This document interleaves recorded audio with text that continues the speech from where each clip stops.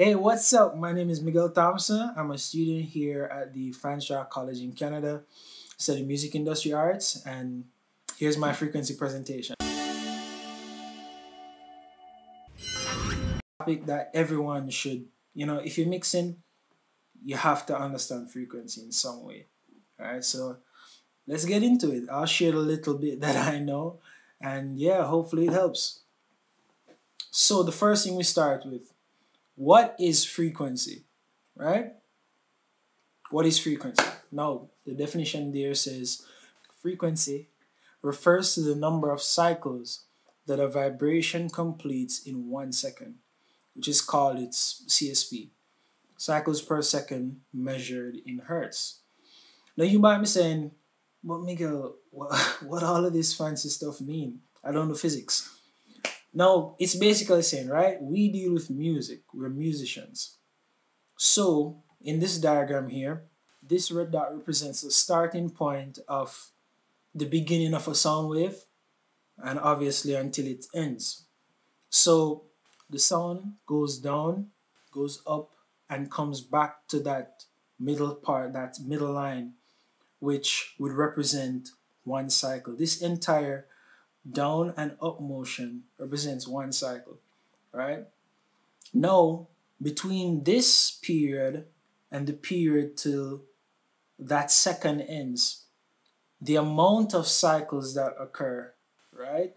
In this case, four would tell you the frequency. That's basically it, easy peasy.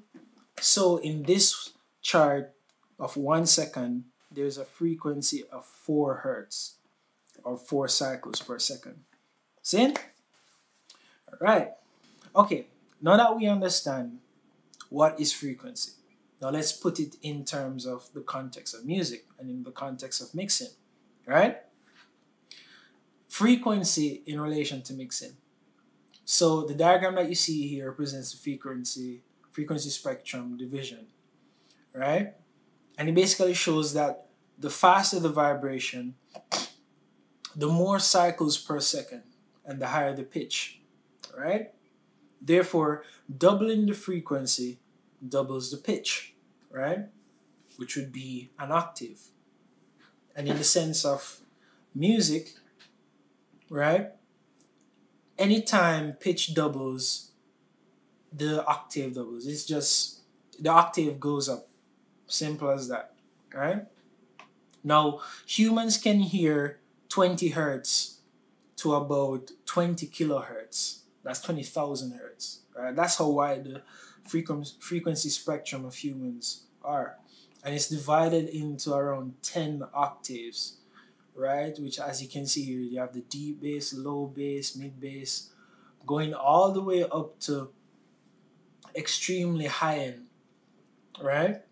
And with that division and with that understanding, we can know look at how instruments, where instruments fit in that entire spectrum. Okay? And then we apply that to mixing. All right. So let's move on to how instruments operate in the frequency spectrum. So instruments and the frequency spectrum. No, I will not laugh at this fish. I will try not to laugh at this fish. So, it is important to understand where general instruments sit within the frequency spectrum.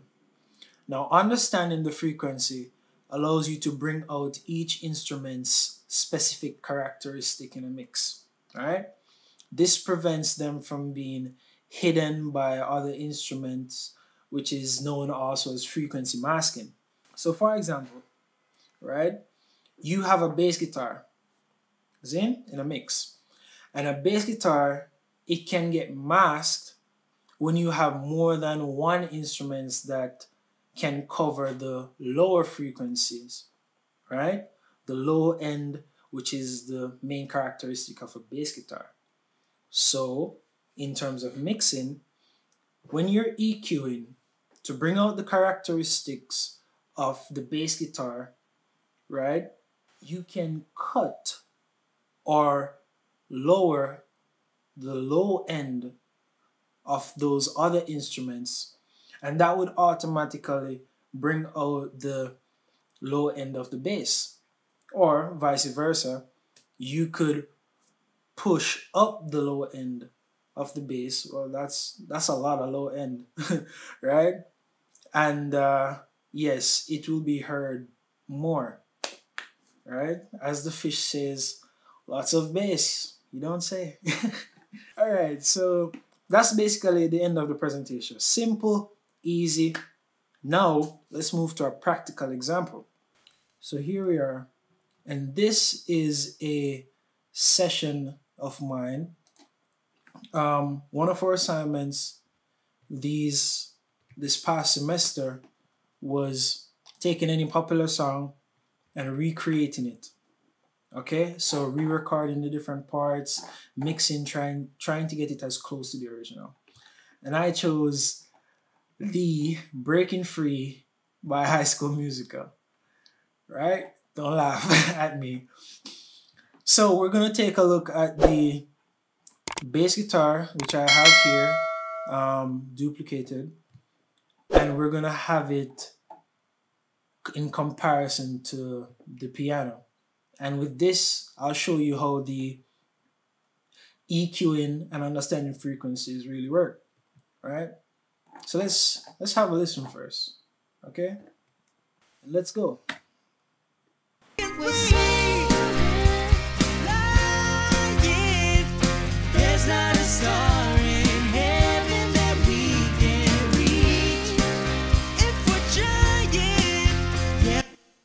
All right, not bad. That's actually the final what I have so far. So let's do that demonstration. I have the bass tracks here going into a bass bus, which is right here. And on that bass bus, I have quite a bit of low end. So let me um, go back to the original. Let me mute the voices. So that's for the bass. And let's take a listen to how it sounds with its natural, how it was naturally recorded versus how it sounds with the EQ. So let's go.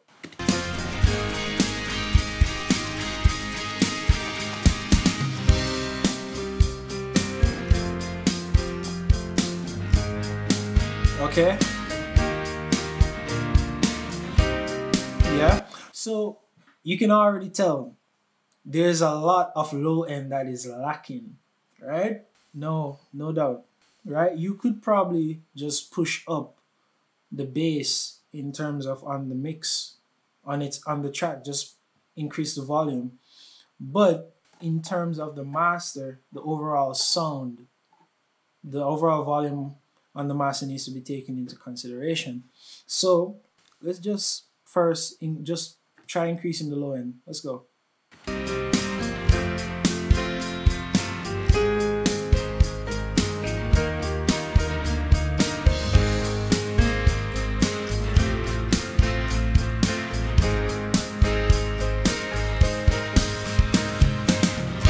Right? You can hear the difference, right? Let's let's hear the difference.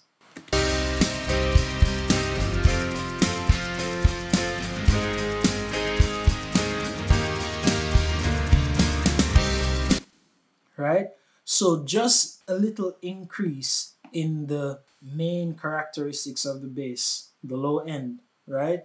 That bass was brought out a lot more, right? Let's take it even further.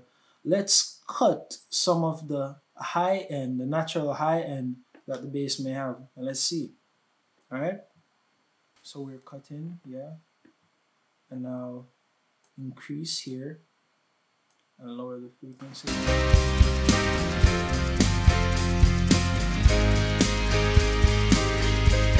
Let's let's hear the difference again.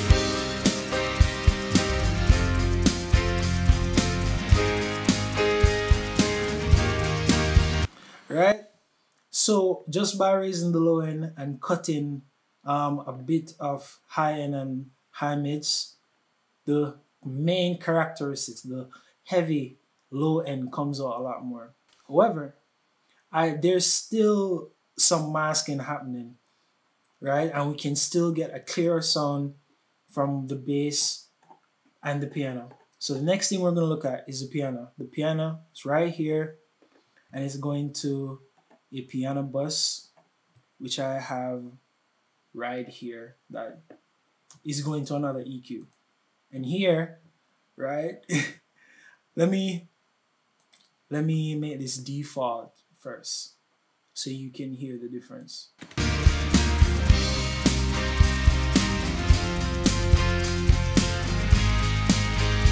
You realize suddenly the piano sounds super thin, right? The, the mid range, the high mids, and the low mids of the piano, those characteristics, which is where the piano playing piano player is playing, um, are not coming out as it should. While at the same time, it's still masking a lot of the bass. So let's first start by cutting some of the low end, right? Let's go increase. Let's put it to around uh, 50 to 100 hertz.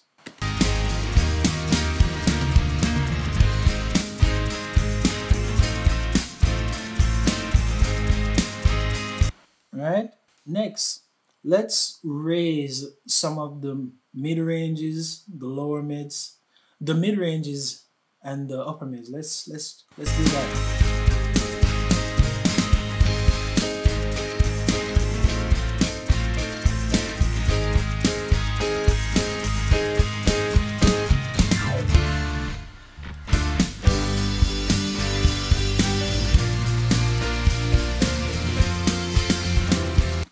So already you can already hear the main characteristic of the piano coming out while it's not getting in the way of the bass and the other instruments, right? In a mix. Let's hear the difference now.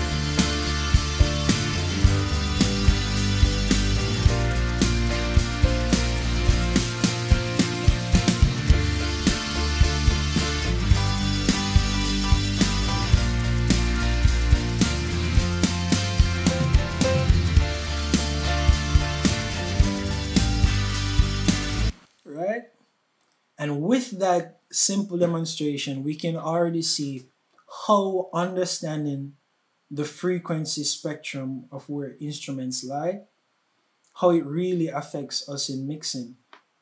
Because just me understanding that, okay, the characteristics of the bass, the low end, right? I want to emphasize that. So therefore, I don't want the low end of other instruments to mask that, to cover that that completely changes it for me. Just understanding those simple things. So with that simple demonstration, you can already see how the relationship of instruments matter in terms of mixing and how understanding frequency really helps that. Just want to say thank you to Chris, the Music Hacks Network, for this opportunity to share the little that I know about frequency mixing right? And also my dear friend uh, Danilo for providing this equipment, the software for this all to take place. So thank you